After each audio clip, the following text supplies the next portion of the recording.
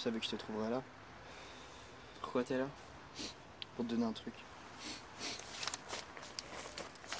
Ta mère m'a chargé euh, de te donner ça quand t'aurais 14 ans et tu serais capable de comprendre. Merci.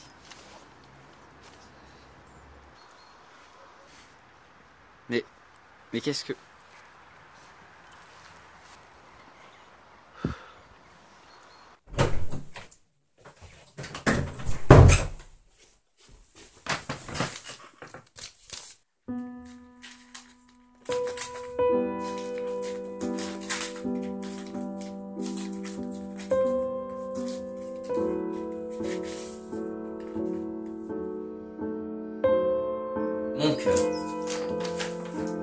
Dois être un beau jeune homme à présent. Déjà, lorsque je te tenais dans mes bras, tu étais le plus beau. Tu as 14 ans, tu es grand maintenant, et tu dois savoir. J'ai tenu à ce que personne ne te dise pourquoi je ne suis plus là. J'aurais voulu te le dire, mais le destin est plus fort que moi. J'ai demandé à ton oncle de te donner cette lettre lorsque tu aurais 14 ans. Je vais essayer de répondre aux nombreuses questions que tu dois te poser.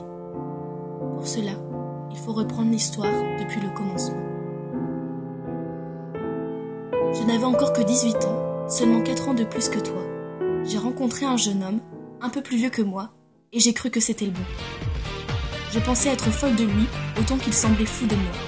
Et lorsqu'il m'a prise par la main, je l'ai suivi, probablement influencé par l'alcool. On s'est retrouvés seuls, dans une chambre.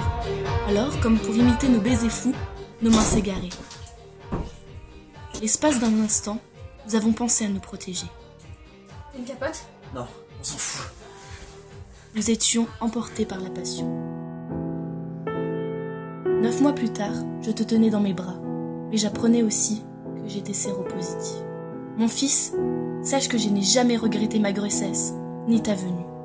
J'ai mis au monde le plus bel enfant qui puisse exister. Mais je ne peux pas le voir, car le sida m'a emporté sans me laisser ce bonheur.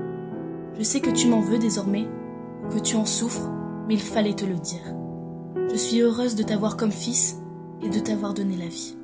S'il te plaît, mon cœur, sois plus malin que moi. Protège-toi.